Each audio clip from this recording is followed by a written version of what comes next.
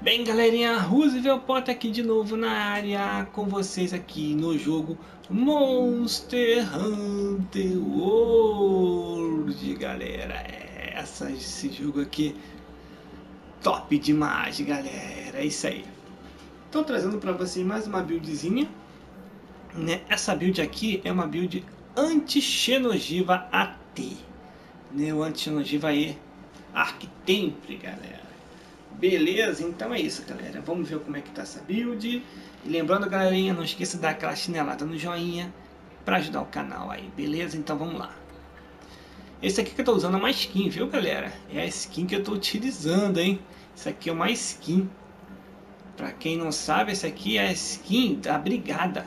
É a skin da Brigada. Belezinha? Então vamos ver aqui quais são os meus equipamentos. Bom, primeiramente eu gostei muito do Tarot Assalto Suporte, né, na utilização dele contra o Xenogiva. É muito bom, muito bom. Gostei demais dele. Então foi a arma que eu mais gostei para enfrentar aí o Xenogiva. É muito bom.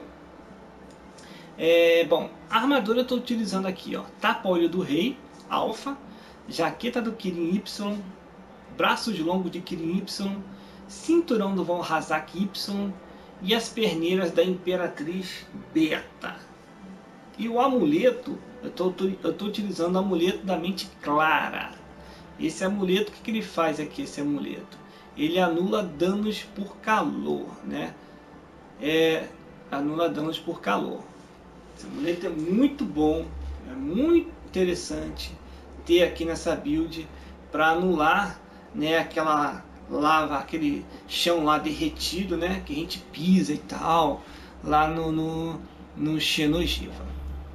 Então vamos lá, vamos ver os adornos agora.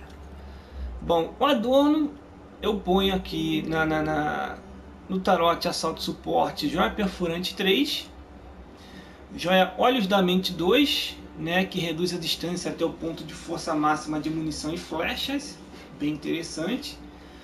Joia de Regeneração 1, Joia de Vitalidade 1, Joia de Escudo 2, galera. É muito boa, muito boa ter essa joia aqui. Com essa joia, vocês vão conseguir defender todos os ataques que o Xenogiva vai te dar daquela rajada dele, de aquele Kamehameha que ele joga de frente, aquele Kamehameha de lado. Vocês vão conseguir defender sem perder life, sem tomar dano com essa joia. Então essa joia aqui ela é muito boa para isso.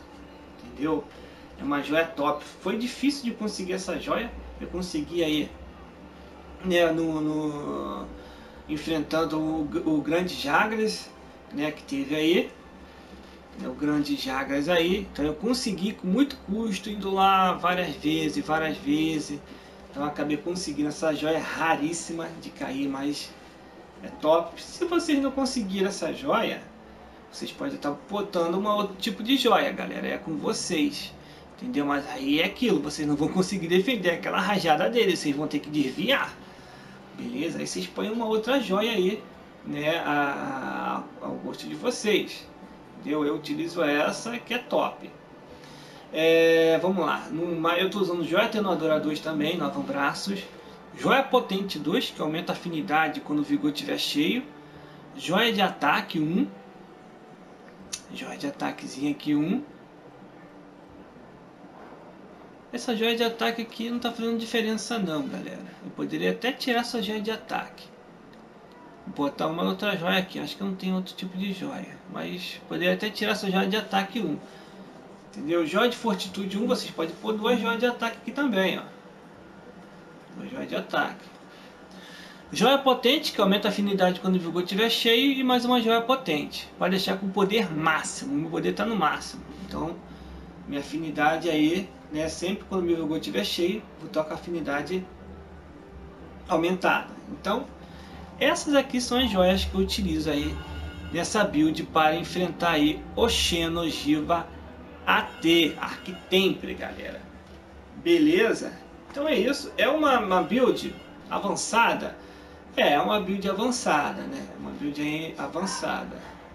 É que precisa de mais joias aí chata. A única joia mais chata aqui é a joia de escudo.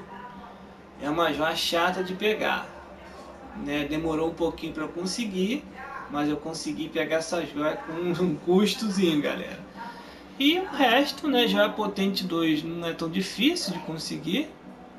Né, joia potente 2 é isso, galera. Agora aqui, na joia de ataque, talvez vocês possam estar mudando, botando uma outra joia. Eu só tenho uma joia de ataque em todo o jogo. Eu tô com mais de 400 horas de jogo. É difícil demais essa joia de ataque. Então vocês podem estar tirando essa joia de ataque e botando outra. Então como é que ficou essa habilidade? Ó? Reforço de vida está no máximo. Velocidade de regeneração está no máximo. Mais munição está no máximo. Exploração de fraqueza está no máximo. E o poder máximo também está no máximo. É, especialista em fluidos está no máximo. Bloqueio de calor, que eu acho importantíssimo também, está no máximo, galera. Então essa é a build aí que eu fiz, né, para enfrentar aí o Xenogiva Arquitempre, muito boa, deu resultado, gostei muito, consegui pegar todas as partes dele, todas as partes não, eu consegui pegar, só faltou o peitoral porque eu não achei muito interessante o peitoral dele. Então é isso galerinha, essa build aí que eu, trago, que eu trago para vocês, para ajudar vocês aí, né, a conseguir aí pegar as partes aí desse belo monstro Xenogiva Y. Beleza galerinha? Então valeu, até a próxima build e fui!